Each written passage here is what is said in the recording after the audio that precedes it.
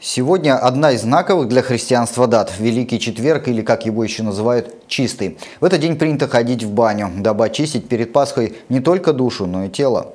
Также в четвертый день Страстной недели наши предки проводили множество обрядов. Один из них – роспись особого оберега – писанки.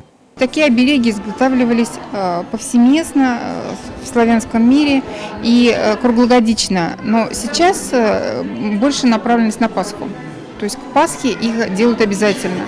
И считается, что писанки, расписанные в Великий Четверг, имеют особую силу.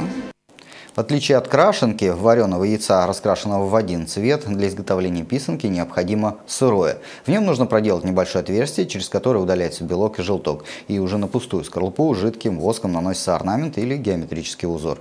Верить или нет в волшебную силу писанки – дело личное, но считается, что это замечательный подарок на Пасху.